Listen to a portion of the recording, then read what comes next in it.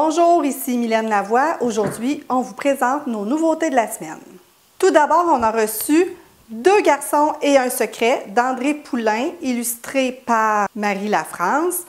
Dans ce livre-là, ce sont deux garçons qui tombent amoureux et qui veulent se marier. Ils vont euh, prévoir une cérémonie. En arrivant à la maison, les parents des deux garçons auront des réactions différentes. Une famille va dire ça se peut pas, deux garçons ça se marie pas, et dans l'autre famille, euh, ça va être accepté. C'est un livre qui, selon moi, est nécessaire de lire. C'est rare qu'en littérature jeunesse, dans les albums, on voit vraiment une histoire d'homosexualité entre deux personnages, donc entre deux garçons. On voit souvent l'homoparentalité, mais on voit peu deux enfants amoureux. J'ai adoré cette histoire-là, je vous la suggère. C'est une histoire qu'on peut utiliser en classe, mais qu'on peut aussi lire à la maison pour l'ouverture d'esprit des enfants.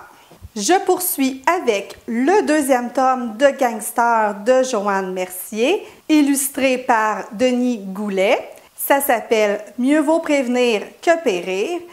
C'est une deuxième aventure pour Gangster, un héros des ruelles. Gangster, c'est un chat qui est vraiment irrésistible.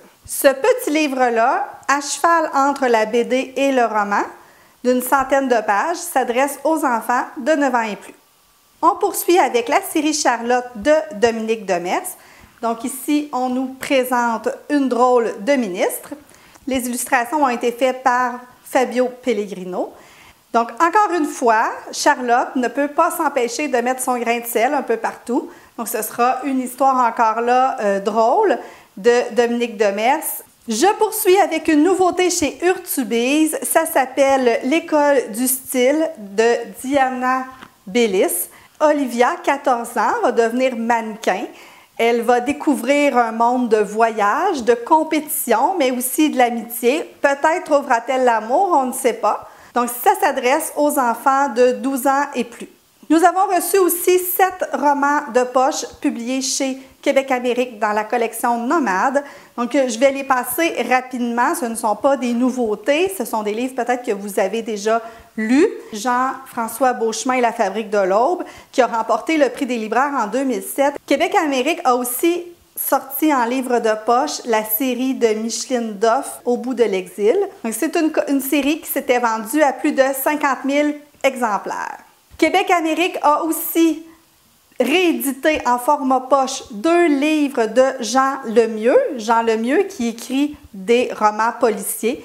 Donc, ils ont réédité La marche du fou et La lune rouge. Donc, euh, deux livres qui avaient été assez populaires de Jean Lemieux. Dernière réception de la semaine, André A. Michaud, Lazy Bird, de l'auteur du livre Bondré, qui avait remporté plusieurs prix dans ce cas-ci, c'est une édition qui a été revue par l'auteur. Voilà, ça complète nos nouveautés de la semaine. N'hésitez pas à vous abonner à notre chaîne Pause Lecture ou à nous suivre sur notre site web, sur Facebook, sur Twitter, sur Instagram. N'hésitez pas non plus à mettre des commentaires en bas. Est-ce qu'il y a des livres dans ça que vous avez déjà lu? Est-ce qu'il y en a que vous aimeriez lire, acheter? Donc, laissez-moi un commentaire, ça va me faire plaisir de vous répondre. On se revoit très prochainement pour une autre capsule de Pause Lecture.